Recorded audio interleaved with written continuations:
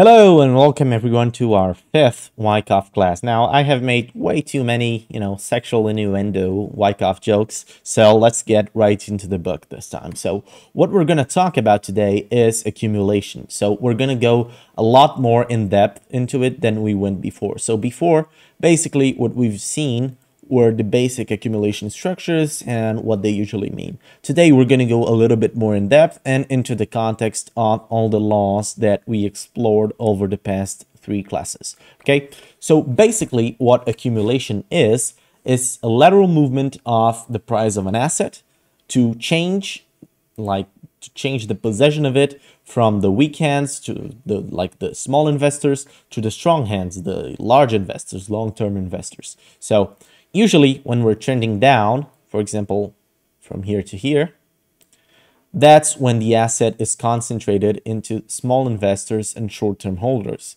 And this accumulation phase here serves like precisely to change the asset from these hands, the weak hands, to the large investors, okay? The strong hands. Now, I don't want you guys to be too much of the buy the dip guys, you know, just infinitely buy the dip as you see your money go away. But this is something to, to, to be aware of. These accumulation ranges, they are the most important parts of just changing hands. And this is why Ruben points it as the very first one. Okay, so usually you know, in the context of stock control, this is usually made so that they can absorb all the asset that they can, okay, all the asset that they can for the lowest price possible. So they keep it in this very, very tight range here. And they keep it so that they can acquire at the very, like the very, very lowest price that they can get. They dump it all the way down and try to keep it down, okay? They keep coming with uh, you know, bad narratives and bad news and whatnot, just to keep this price down and, you know, so that they can acquire the most of it. And when they test, they finally test and see that no weak hands are left, no weak hands are willing to sell anymore, that's when price starts to go up. Okay? And this is also why when I talk about uh, like the short-term holder, short-term holder realized price. That is why holding it as support can be quite a meaningful, you know, event for price to go up. Okay, all right. So in the context of law of cause and effect, which we've seen in the past classes, this is basically building a cause, right? During these downtrends, that is usually where the cause for the future uptrend is built. Okay, so they start coming with their narratives that Bitcoin is going to be the currency of the future, that is going to be in a bull market forever and whatnot. That's when they start building this narrative so that they can futurely, you know, bring the price up. Okay. Okay. Uh, there are handling maneuvers, as I said. They are trying to shake off the, the weak hands, even the experienced guys, and just buy as much of the asset as they can right? And they do this by making like a flat, boring market context that no one wants to, you know, to be part of. No one wants to trade. No one wants to buy. And that's usually when it's the best time to buy, right? When no one wants to buy, when it's a flat, boring market that no one is watching, that's usually where you make the most money. And that is where the, the like the strong hands are holding.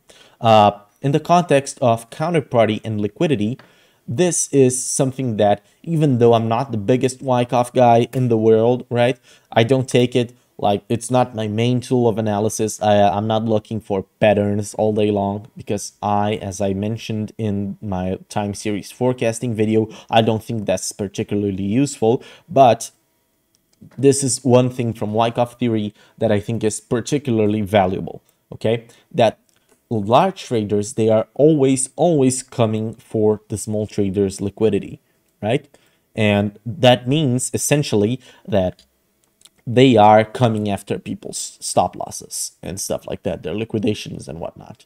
And the reason that I think that it's because like me as a retail investor, I'm just a 20 year old guy. All right. And I have access to this tool here which is the kingfisher.io. You can get some credits for free and whatnot. So I'm getting access to this completely for free. And this tells me people's liquidation prices, right? And this can generate quite a lot of alpha for me.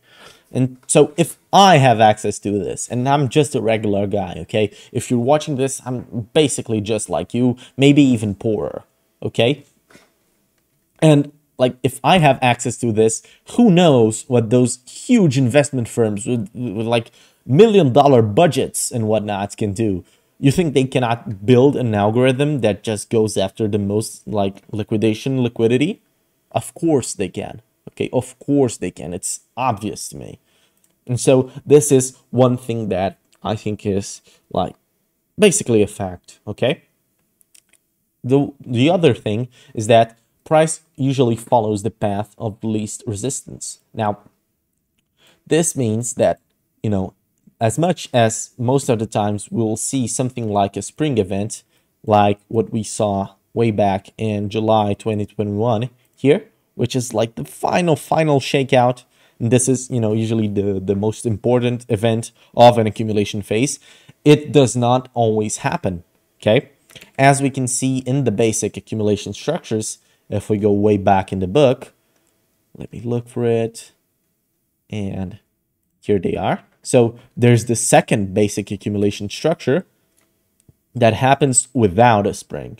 And this is really interesting because it forces us to analyze the market conditions. So usually when the market, you know, is in a background of more strength, like for example, no no foresight of economical recession, no wars, you know, everything is prosperous, then it's really hard to form a spring, to form a big, big capitulation event for it for you to drive the price up. And while the spring can be really, really in favor of the bulls, it does not always happen, and you shouldn't be expecting things to play out the exact same way every single time. Okay? Now, Ruben here just gives us some very, very useful common characteristics of all accumulation ranges. And this is, you know, I'm going to give you two things, you know, just think about if you only watch this video and nothing more. And like the first thing is like thinking about this list and trying to spot it in Bitcoin and other assets and whatnot. So the characteristics that Ruben points to us here are first a decrease in volume and volatility as the range develops. So first, the range is really wide. So you have a really wide range. And as the range develops, it, it just gets tighter, okay? So we can see it quite clearly here. You have a wide range before, and then it starts getting, you know, smaller, okay? Also, the tests of the top range are usually low in volume. So for example, here, when we test the upper range, we have relatively low volume. And when we test the, the like the lowest part of the range, then we have way higher volume. Okay. Um, there are springs to previous lows, so we usually will go towards the lower, like the lows that the, asset has seen before. So stuff like this, this accumulation here was essentially at the same levels that we were in January 2021 before the run to 64K. Okay. Next, there are wider and smoother upward movements in bars than, uh, than downward movements. So usually the upward movements will be, you know, just will, they will take more time and the downward movements will be really sharp down. So this is a really, you know, interesting example because here you can see if we look at lower time frames, which makes it, you know, just a little bit better for us to say. Let me see. Let me grab that range back in the lower time frames just so we can see it a little bit better. Okay.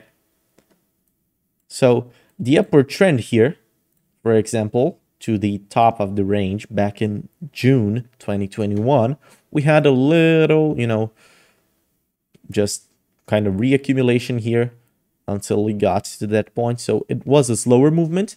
And then when we went down, it was, you know, just a straight line down, just down, down, down, and nothing else. Okay. Then we take a while to, to make a new high and then boom, straight down. Then we take a while to go up. It takes a little bit of while and then boom, straight down. And that's how uh, the accumulation structures exist, right? So we take a while to go up and boom, down, right? So this is another key feature of accumulations.